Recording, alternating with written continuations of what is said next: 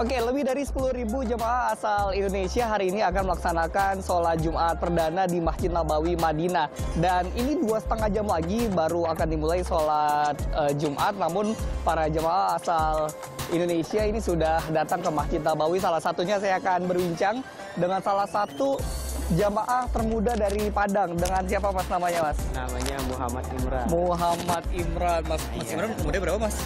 Saya saat ini umurnya 19 tahun. 19 tahun menjadi jamaah haji termuda dari Padang. Apa mas motivasi yang paling eh, diinginkan untuk haji ini?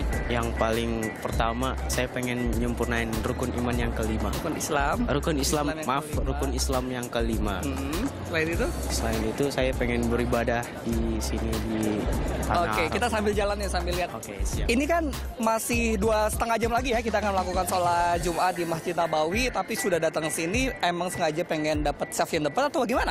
Pengennya sih dapat saf yang di depan di Raudah. Oh gitu. Iya.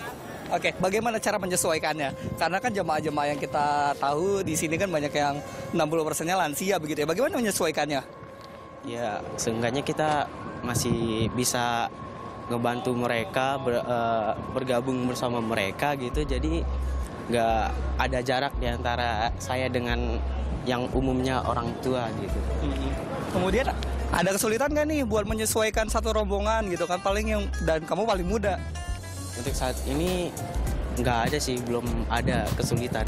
Oke, sebagai generasi milenial agar juga generasi milenial lain termotivasi untuk melaksanakan ibadah haji apa mas? Yang bisa Eh, disampaikan?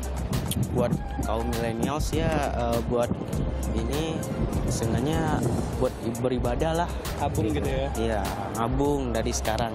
Oke, karena bagaimana tanggapannya uh, pertama kali menginjakan kaki di Madinah? Alhamdulillah saya bersyukur banget bisa menginjakan kaki di tanah Madinah ini dengan usia yang sangat muda 19 tahun. Baik, terima kasih. Oke, kita akan uh, nanti sholat Jumat bareng-bareng ke sana.